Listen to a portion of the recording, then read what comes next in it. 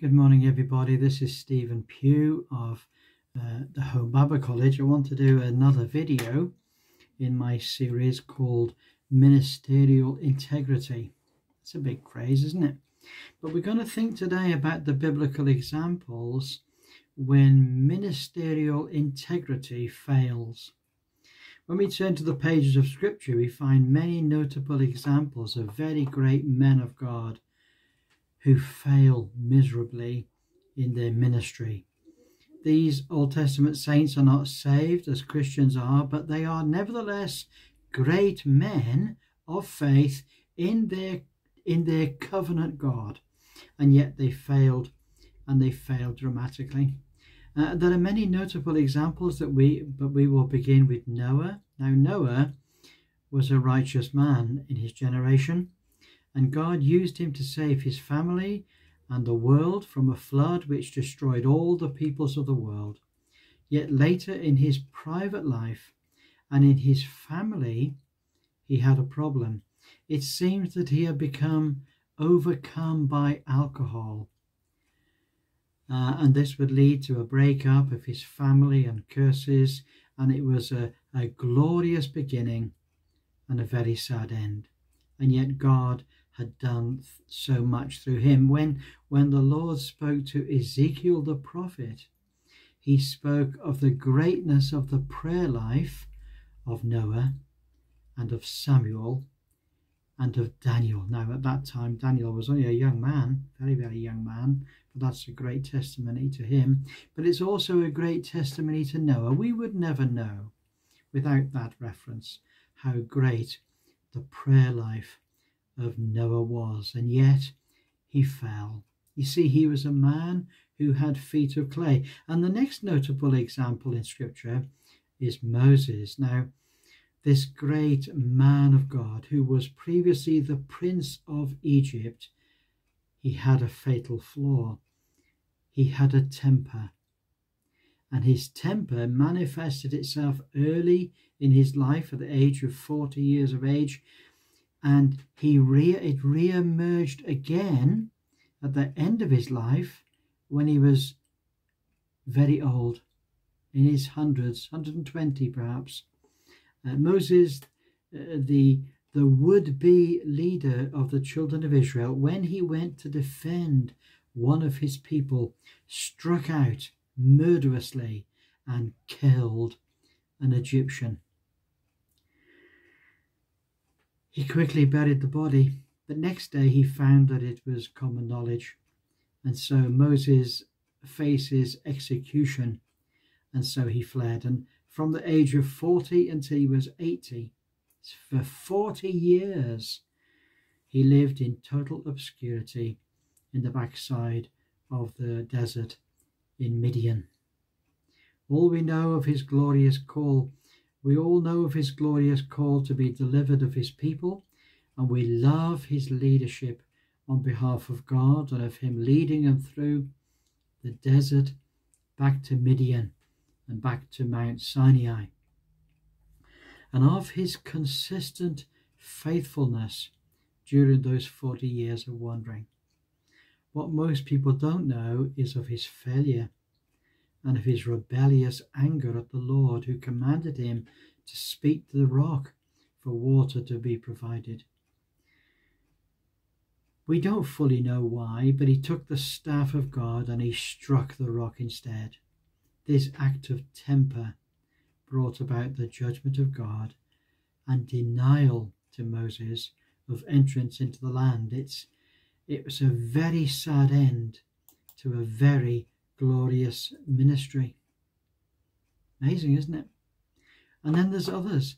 There are other people to think about. Let's think of Samson. Samson was an exceptional judge, a judge of Israel over a long and fruitful life. He delivered Israel from the oppression of the Philistines and single handedly led the children of Israel. Um, um, led, led the children of Israel to bring the fear of God upon their enemies. However, in getting close enough to the Philistines, Samson foolishly revealed his own personal secret and the key to his own downfall. This was in spite of having a number of near misses, and in the end they overcame him and they blinded him for the rest of his life. What a tragic end to a glorious ministry. The next man of God I want to think about is Elijah. Elijah led a tremendous spiritual challenge to over 400 prophets of Baal. Imagine one against 400. Who's going to win? And he defeated them all with prayer and the fire of God. And he destroyed the idolatry of Baal and executed the main enemies of God's people.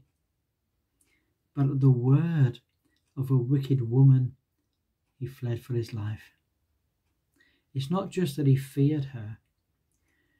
This had been a great strain on his spirit. He had lost a lot of sleep and probably had been weakened by fasting. The main point was that this sorry state led to mixed up thoughts about his own relationship with the Lord and of his place in the nation. Elijah had burnout. Elijah failed at the crucial moment. Saul was a great man, tall, strong, loved by the people, beautiful to look at, healthy and strong, but he had fatal flaws. He, did, he often didn't understand the purposes of God and failed to adhere to the strict commandments of the law. He understood men, but he didn't have a heart for God. And when the time came, he made rash vows and planned foolish battles. He made an enemy of his greatest asset, David, and persecuted him mercilessly. Yet God protected David. He was killed in battle because they were overcome by enemies too great for him. He died like a fool dies. But he brought down Israel in his reign, and thousands died because of his personal mistakes. In the end, he confessed that he'd played the fool and erred exceedingly. Now, if you're a servant of the Lord, if you're a leader of God's people, this is something that is a very deep and long and solitary lesson. All these great men were eclipsed by the greatness and the foolishness of David. David was an exceedingly great man, taken from the sheepfold and raised up by the Lord to be their greatest warrior. However, in his victories he became arrogant and fleshly, and he took another man's wife and then murdered the husband to hide his sin. His sin, however, was revealed to Nathan the prophet, who bravely challenged David in his sin. And David suddenly realized his great sin and he repented and brought disgrace upon himself and on the Lord he served. David paid a huge price in spite of his repentance, and the child of his sin perished. And David, great as he was, always never forgot the great blot on his character. If ever there was a man of promise, then Solomon was that man. He was raised up to be king of Israel. God gave him exceptional gifts. He had gifts of wisdom, such that God gave him everything that his heart desired, and wealth beyond anything anyone else has ever known, except perhaps for Joseph on behalf of Pharaoh. Kings and great men came from every nation just to see the glory of Solomon. And when the Queen of Sheba came, she confessed that the half had not been told. But Solomon had a fatal flaw. He loved strange women, women from outside of Israel, and they brought their religion and their idolatry into the kingdom and into the heart of Solomon. And while he lived, Solomon was safe for David's sake, but at his death, his kingdom was doomed and soon fell into division and defeat. These great men had some blot on their character or some secret wickedness which brought them down. This should teach any leader that no matter how great they might be, no matter how knowledgeable or how intelligent or how handsome or wealthy, they are traps set for men by Satan, which can destroy them and spoil all that God had for them. When we turn to the New Testament, we find that the same thing repeats itself in the lives of the apostles. Peter, the great apostle, often made huge mistakes. He opposed Christ to his face when Christ revealed the path to the cross. He denied the Lord cowardly when confronted by three servants who declared their knowledge of his association with Christ, and Christ had to go to extraordinary lengths to restore Peter. Still later, um, after being a great leader in the New Testament church, Peter and Barnabas and others made a nearly fatal mistake of prevaricating when faced with Pharisees who wanted the Jewish Christians to separate from Gentile Christians at meal times. Thankfully, Paul was present and stood up to him face to face and broke the hypocrisy of the whole thing. It must have been hard for Peter to live this down. Perhaps he never did. Barnabas, Paul's most faithful friend at one time, fell out with him and effectively disappeared from the pages of Scripture. And when we read carefully the pages of the New Testament Scriptures, we find man after man who fails in ministry and uh, passes into obscurity in disgrace. But we also are heartened by cases of restoration. Mark, who disgraced himself during the first missionary journey of Paul, went off with Barnabas eventually, but he eventually is restored to favour and proves useful to Paul and the author of the gospel of his name. So making mistakes, even big mistakes, even though they might cause harm and division, are nevertheless not a life sentence. And God often can bring people back to himself and to his people.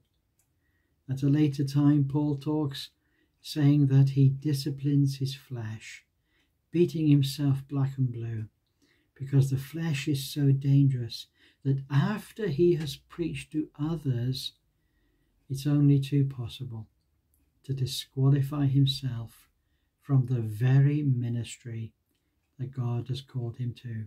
He says, Lest I be a castaway. And this causes a chill to run down the spine of every man of God. He doesn't mean a castaway in, in the terms of losing his salvation. That's not what the issue is. It's all about losing his ministry the one great passion of his life could be lost. It could be lost, and perhaps lost forever. So this is the second um, um, lecture in this uh, in this series, and we're, we're trusting this is going to be a blessing to you. It's going to be very much a matter of heart searching, I'm sure. And we look forward to catching up with you next time. Have a wonderful day. Bye for now.